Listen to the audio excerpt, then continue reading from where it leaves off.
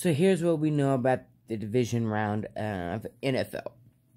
The Vikings and the 49ers played yesterday. They played phenomenal. Yesterday was Saturday.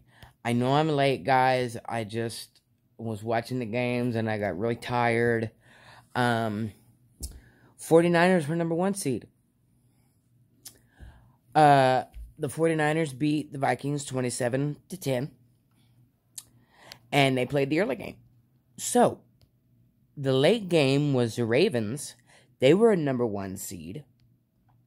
And the Titans were a number five seed. But the Titans beat out the Ra- Ravens, which was a crazy, crazy, crazy upset.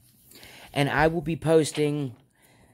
I know that I'm late about getting yesterday's game up. Um, I will be posting the Chiefs and the um, Chiefs and the Texans and the Packers and the Seahawks later.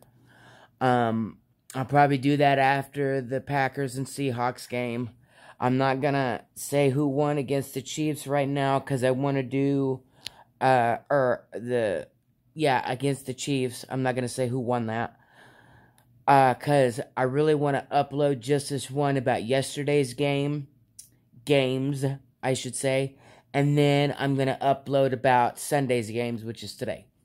Alright guys, after this video, um, here later, I'm going to upload one more.